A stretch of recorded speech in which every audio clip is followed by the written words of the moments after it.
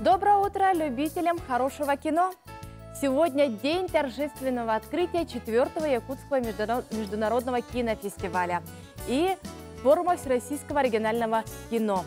По уже сложившейся традиции перед Сахатеатром в 6 вечера продефилируют в красивых нарядах те, кто делают кино не только в Якутии, в России, но и в 12 странах мира.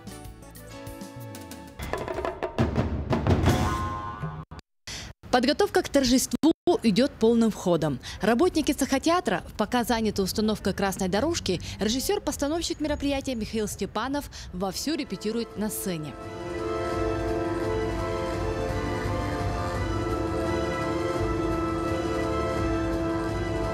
Михаил в 2014 году уже был режиссером открытия фестиваля, поэтому в этот раз он хочет сделать мероприятие незабываемым. Это очень важное событие в моей жизни и очень приятно, что доверяют такие мероприятия. И думаю, что все пройдет на хорошем уровне. Какие в этом году будут на открытии интересные номера, может быть, задумки ваши режиссерские? Ну, мы открытие э, на самом деле по хронометражу нас ограничивают, поэтому мы делаем э, вначале в прологе танцевальную э, классическую композицию. Ну, там есть кое-какая мысль, но я пока не буду раскрывать это. В прологе мы э, от истории Якутии идем к развитию, к современности э, развития кино, кинематографии. Что? Сколько людей у вас задействовано на самой постановке? Ну, в основном мы будем использовать технические моменты. И это и экраны, и световое оборудование, и какие-то спецэффекты. И э, в, нашем, в нашей композиции участвуют э, хомусистки есть, есть танцевальный коллектив. На главный приз кинофестиваля «Золотые снежные очки» будут претендовать 9 игровых и 7 документальных фильмов. А Якутия будет представлять дебютные работы а, режиссеров Костаса Марсана. Это фильм «Мой убийца», а,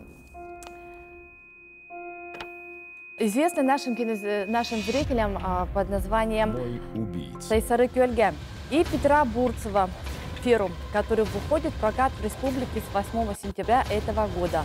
А в конкурсе документального кино фильм известного предпринимателя Егора Макарова «24 снега». Обладатель приза зрительских симпатий 38-го Московского кинофестиваля. Эта картина достойна сегодня открывать кинофестиваль в театре.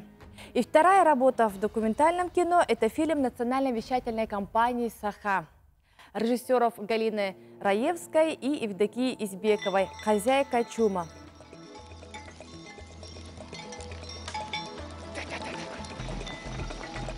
Но я хочу вас еще познакомить с другой хозяйкой большого дома а, под названием «Документальное кино».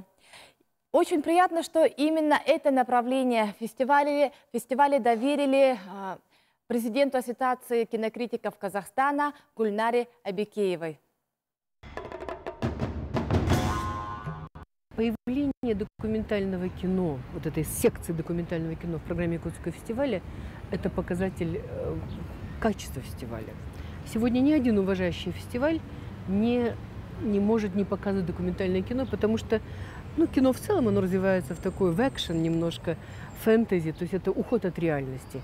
Документальное кино – это зафиксированная реальность.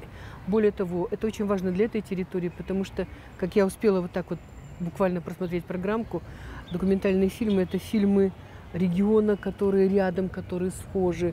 Это движение на север, это движение в сторону Центральной Азии. То есть это как бы, ну, чтобы, чтобы я назвала «мы соседи».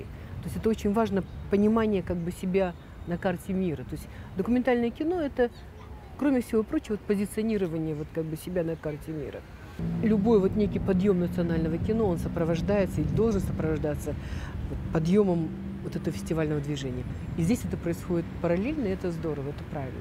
Вместе с Гульнарой Абикеевой приехал с Казахстана молодой киновед, кинокритик, исполнитель главной роли фильма участника конкурса игрового кино «Чума в ауле Каратас» Айбек Кудабаев. Вообще-то я ваш новый Акик. У нас уже есть Акик? Э, наш фильм «Чума Ваули Каратас» снят в рамках движения партизанского кино. Партизанское кино – это новое независимое движение кинематографистов в Казахстане, которое э, фокусируется, наверное, можно сказать, на социальном кино, на кино, которое исследует именно социальную проблематику, э, исследует те проблемы, которые сопряжены с общественными процессами.